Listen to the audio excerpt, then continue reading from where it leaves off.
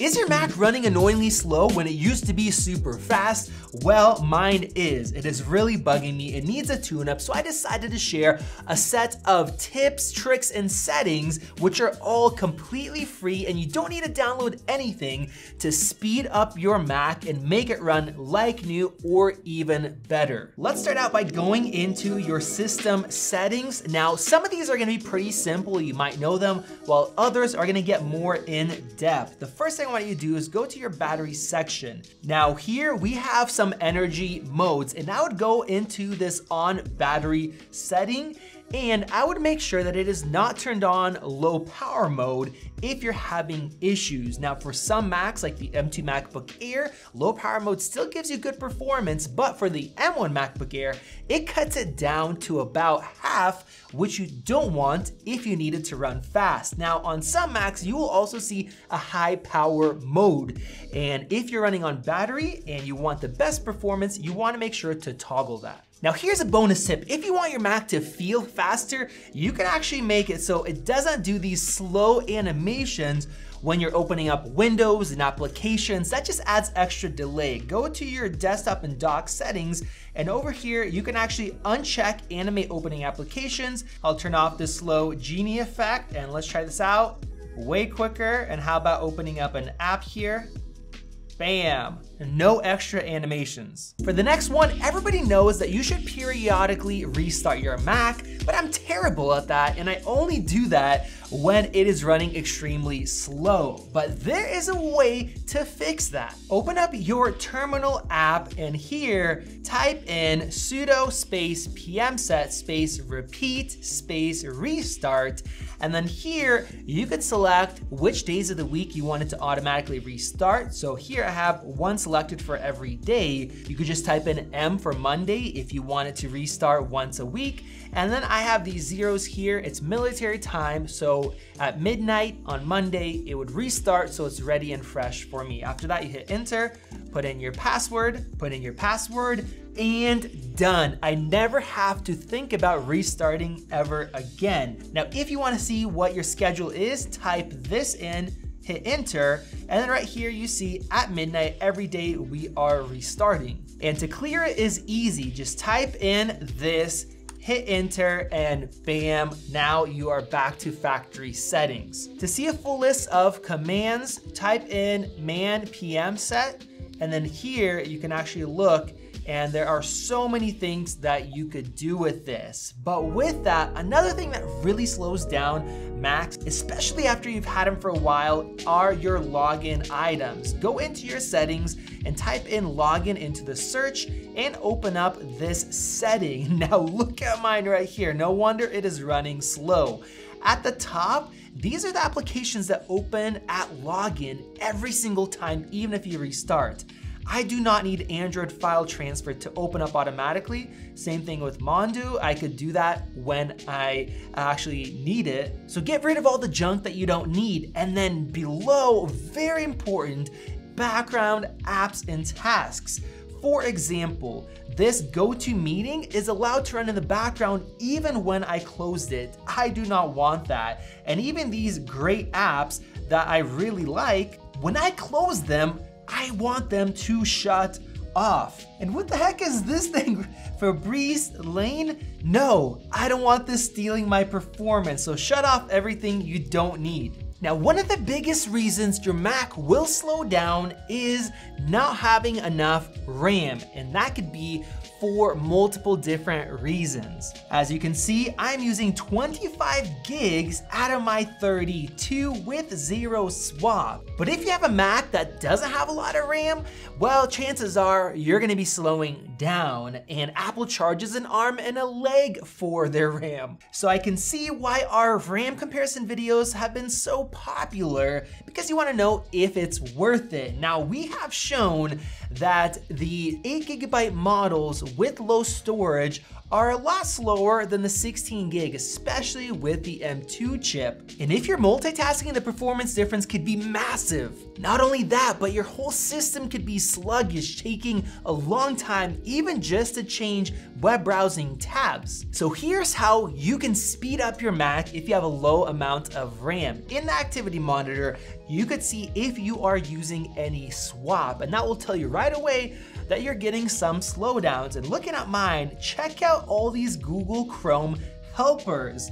When your Mac's been running for a long time, sometimes stuff just gets stuck in the background and you can have all sorts of junk taking up your RAM. So go back into your terminal and type in sudo purge. We are gonna hit enter, put in the password, and then right away, it's gonna start clearing out things that you don't need. And with that, you have to make sure that you're not maxing out your SSD because if you're getting close to full, SSDs actually slow down and then your system can't write things that don't have enough RAM onto your SSD or it will just go way slower. So go into your settings application, go to general and then hit storage settings. And as you guys could see, my one terabyte SSD is almost full. Now there's a couple things that you can do. You can store items in iCloud, but I would suggest uh, taking a look and checking out where you have a ton of stuff. So uh, for documents here, I have 700 gigs. Click on that little eye and you get this pop-up here that will show you in the order of how large these files are um, just everything that's all over your hard drive. You can also look at your downloads. Look at this, older than a year old. I don't need this junk. You can actually click on it, hold down shift, select multiple things to delete.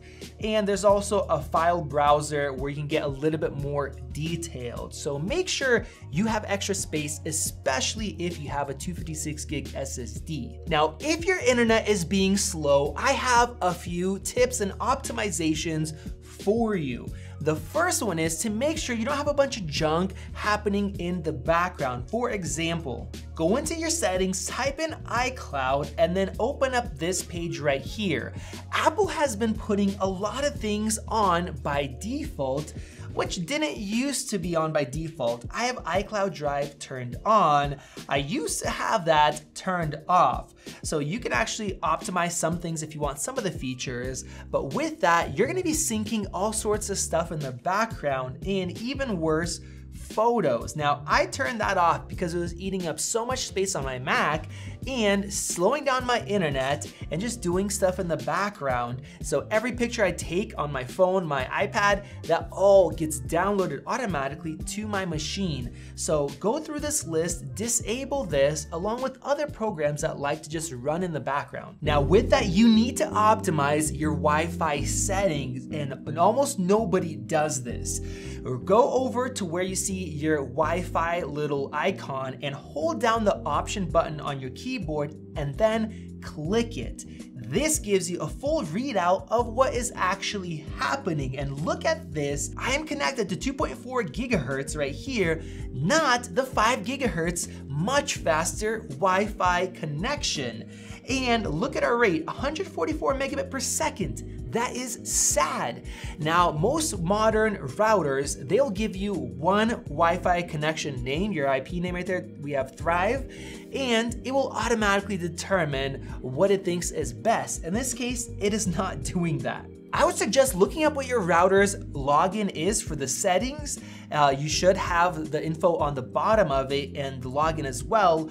Uh, and then go into your wireless settings right here and and then split the network so that you can connect to the faster one. And if you're far away and the signal is bad, your Mac will still switch to the better one. And this is especially important if you have a newer Wi-Fi 6E router like the one that I bought because I found that it would connect to 6E when it was much slower than the 5 gigahertz. And with that, you need to adjust these settings right here. Almost nobody touches their auto joins and I connected to the Xfinity hotspot and then sometimes I check and it automatically connects to that, which is way slower. So you wanna actually click on here and disable auto join. And the same thing for other ones. For example, if I have a slow network, like the 2.4 gigahertz, disable the auto join so it joins to the faster one. And the last one is to speed up search. I love using search. I type in a couple things, hit enter, and then whatever I need opens up.